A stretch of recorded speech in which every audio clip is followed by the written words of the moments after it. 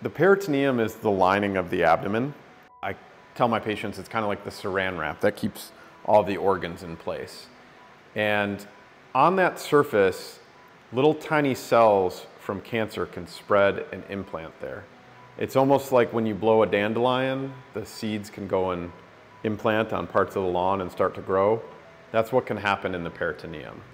And that can be a, a pretty dramatic manifestation of cancer. It can form up to thousands of tumors that implant there and can cause bowel blockages and problems with nutrition for patients. It's a pretty devastating and, and frightening disease. But the good news is we do have treatments for this. Um, so peritoneal disease can come from a variety of places. It can come from the appendix and go to the peritoneum. It can come from the colon or the stomach. And how we treat your peritoneal surface malignancy is based on where it came from. Some respond better to chemotherapy, some to immunotherapy, and others respond well to the surgery I do, which is called cytoreductive surgery, and HIPEC, which is H-I-P-E-C, and that is heated intraperitoneal chemotherapy.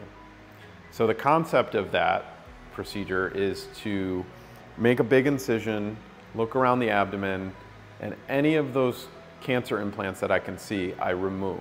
Once we do that part of the procedure, we then do heated chemotherapy. The combination of that surgery and the, the heated chemotherapy has good outcomes for patients. It can extend life, it can reduce symptoms of peritoneal disease.